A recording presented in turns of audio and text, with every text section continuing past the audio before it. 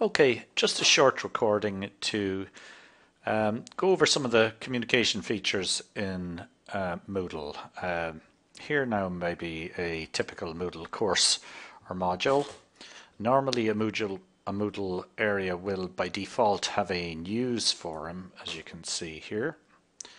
Uh, it is possible to add extra forums to a Moodle module and in IT Sligo we tend to add two standard forums.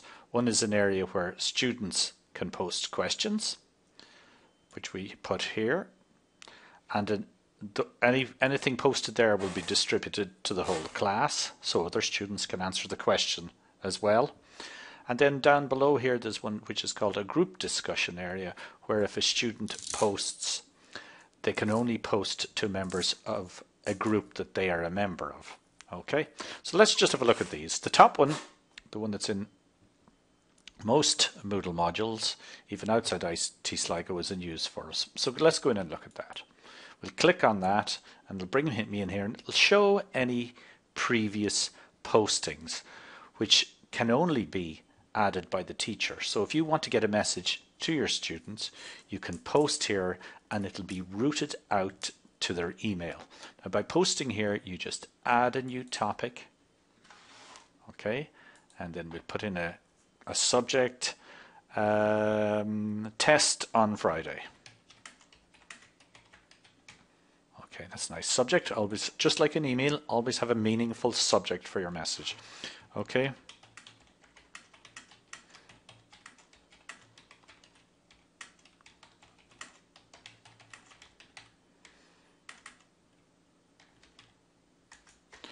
It will cover chapter 4. Okay. Right, let's see. You could attach files to that. We won't we won't get into more detail. This tells us that everyone is subscribed to this. That means they will everyone in the class will get this message. And in actual fact, it will if you post this, it won't send it out for 15 or 30 minutes, depends on the settings in Moodle. But if you want and you're in a rush, you can send it out now. Let's just post the forum. There's always a chance you'll make a mistake. So it's best to post to the forum. This one says you have 30 minutes to edit it. And there you'll see that it's posted up to the forum and in 30 minutes time that will be sent out to their emails. Let's just have a see how it looks. Okay, there will be test on Friday during class time. It will cover chapter 4. Oh, I made a mistake. That should have been chapter 3. Let's just edit that. That was a serious mistake. It's as well I caught it. Okay, so chapter 3. Okay, and then we'll go down and save that. Okay, so that's that. Now we go back to the actual course itself, which is called demonstration. We can see that here in the breadcrumbs here. Here's the area that this Moodle course or module is in. Um, that's a sub area for in miscellaneous. There's the home, but here is the title of the actual course or module. So when we click on that, that brings us back to the module. Let's see if there's any questions from students. Okay, any questions about this subject? Okay, there's one. Damien has one on knitting. I think I think I can answer that, uh, as I'm an expert on knitting. Okay, is this course semesterized? I'm looking for past papers. Where can I find them?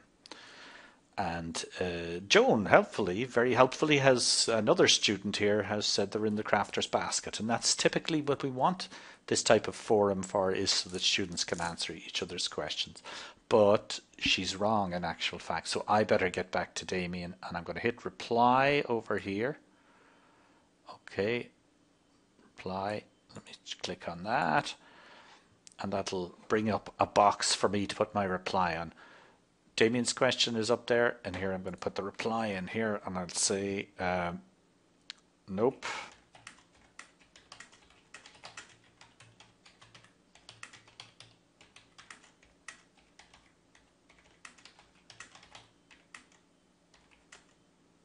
Find them in the library.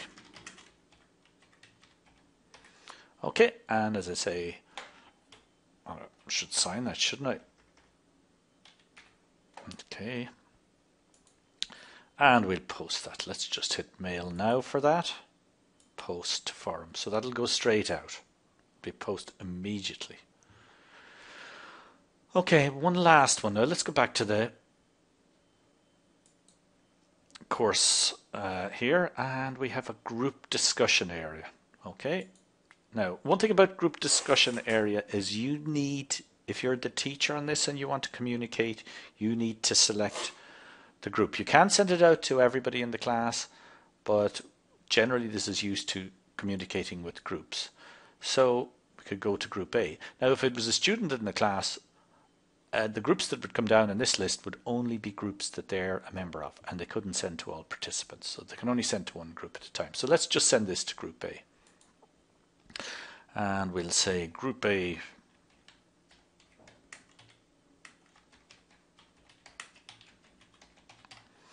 Okay, so we'll send this and say to everyone, I should put a capital A on that. That sounds like a tutorial is cancelled. Okay.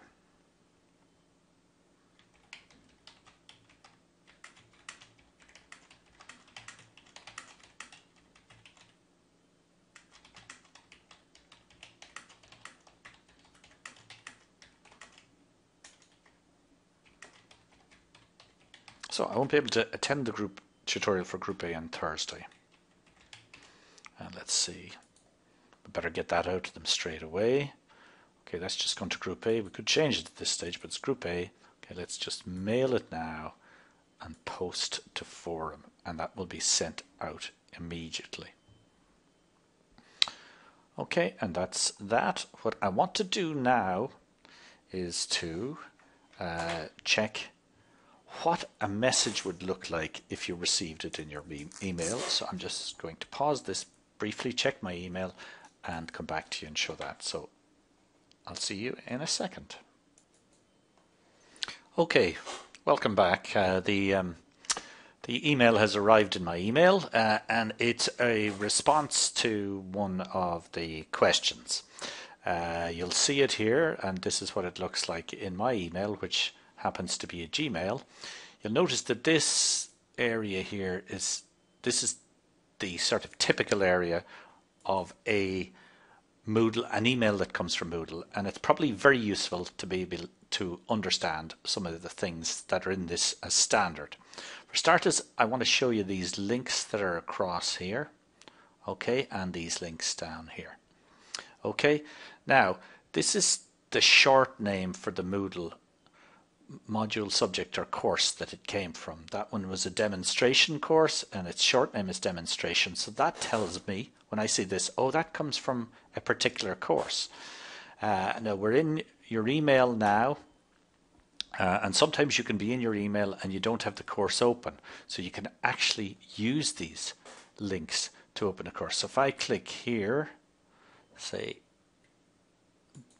that pops up in a new window and it brings me to the course, which can be very handy. You can go straight from your email. Now, if you weren't logged into Moodle, you would have to log in. Because we were logged in, that brought us straight there. So let's get rid of that and go back to the email. This means that it's one of the many forums that are in that Moodle module, your course. And this is the particular forum. Any questions about this subject? Remember I showed you three forums? Okay, one of them was for students posting questions.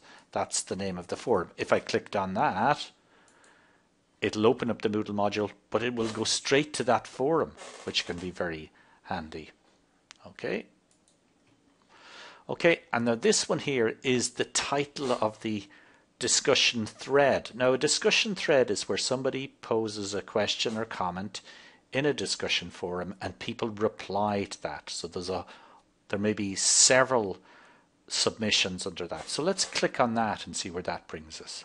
Okay, okay, that brings us into Moodle module, into the forum, and then into the discussion thread. So there was the first one, and here were some responses down here. Response from Joan Morrison, a response from Brian Mulligan, another response from Brian Mulligan, the identical one, just to make sure it worked. So that's a very handy one because you can go in there. Let me just show you that again. Let's go back to where we were. You're in your email, you're looking at your email, you say, I want to respond to that so I can go. Well, you might say, Nope, not in the crafter's basket. What was the original question again? And if you go to the question or go to the actual posting here heading, you can go straight to it. But you might say to yourself, by the way, another way to do that is show parent. Let's try that one. And that shows it plus the responses. So that has the same effect. Okay. Okay, but what you want to want to do is you might want to reply. And remember, one of the purposes of forums in Moodle is so that you can reply to everybody. If a question comes in from a student, you can reply and the whole class can see it. So you really should be replying inside Moodle. Okay, don't be contacting them by email. So we would click on reply there and that opens there. It's got re, the original heading, and you can type a reply there. Okay, so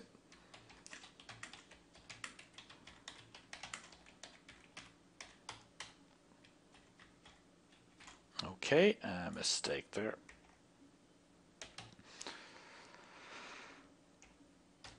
Okay, and then we can post that response. We'll mail it now if we don't think we've made a mistake. But as I say, it's probably advisable not to just post it to the forum and it'll go out in a half an hour.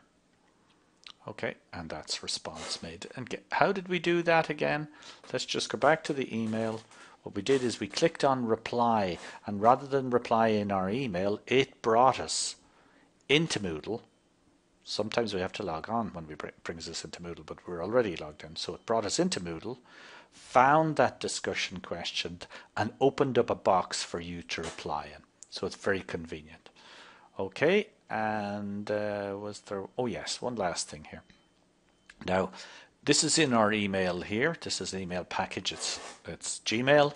So in your email package, you generally have a function in your email package for replying. So if you wanted to reply just to the individual person, okay, you could just use your own reply link. This is the reply link in Gmail, so I could use that, click on that, and it would reply. Now, I happen to have this set, set so it doesn't reply. I have the email address set to no reply. But normally you would be able to reply to a student directly. So you could use your own email package to reply privately to the student if you didn't want to reply to the whole class. Okay, and that's it. That's all I've got to say on communicating inside Moodle.